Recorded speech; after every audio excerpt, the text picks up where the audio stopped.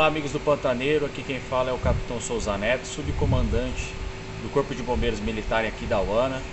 No último dia 24, por volta das 22 horas, o primeiro subgrupamento de bombeiros militar atendeu uma ocorrência de incêndio de edificação histórica aqui em Aquidauana, a antiga escola modelo.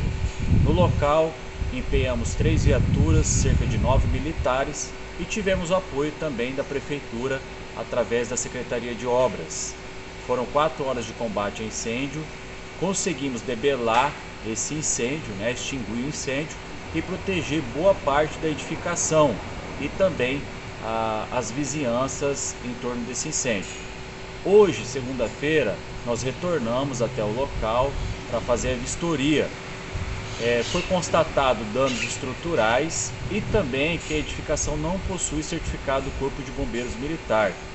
Com isso, notificamos e interditamos o local e será repassado às autoridades competentes.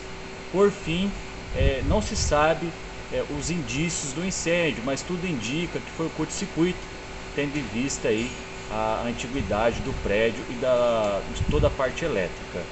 Nós, do Corpo de Bombeiros, estamos 24 horas à disposição da sociedade através do 193. Conte sempre conosco. Bombeiros, Corpo de Bombeiros Militar, nós somos por você.